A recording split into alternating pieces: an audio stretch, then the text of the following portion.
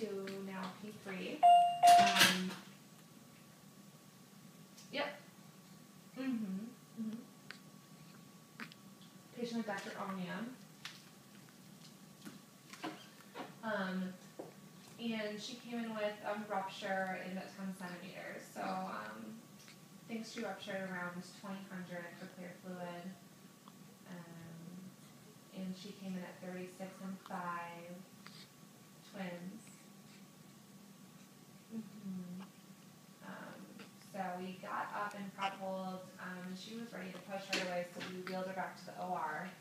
And without an epidural or anything, she pushed out these two little girls, these adorable girls. Um, the first came out Vertex and B came out Breech. Um, we had a whole slew of people in there. We had a couple residents. We had Dr. Onya. We had. Dr. Garcia.